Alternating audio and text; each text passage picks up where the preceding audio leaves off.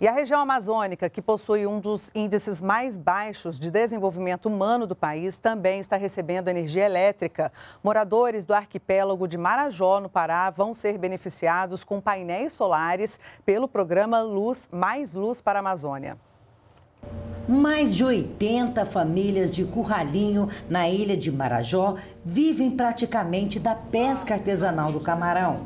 Márcio é um deles e a difícil jornada de trabalho se torna mais complicada pela dificuldade de preservar o que pescou. Não conseguimos armazenar nossa, nossa, nossa comida, não conseguimos armazenar nosso produto e a gente tem perde muito, né, com isso. Mas essa história está mudando com a chegada da energia em três dos 16 municípios do arquipélago. Com a luz de 24 horas a gente consegue ter freezer, consegue ter geladeira, consegue dar um bem-estar melhor para nossa, para nosso, nossos filhos, para nossos moradores. Nesta primeira etapa do programa Mais Luz para a Amazônia, 386 milhões de reais estão sendo investidos para atender 50 mil pessoas. No Pará, serão atendidas aproximadamente 9 mil famílias até 2022. O projeto está em fase de mobilização e as primeiras ligações devem ocorrer no segundo semestre de 2021.